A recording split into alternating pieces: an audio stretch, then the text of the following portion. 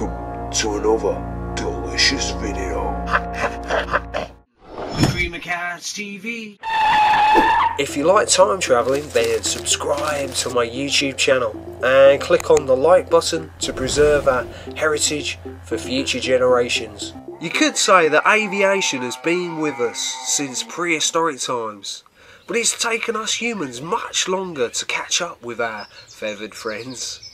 But our dreams and determination paid off in the end, inspiring generations of artists and inventors to dream up the next future of magical flying machines.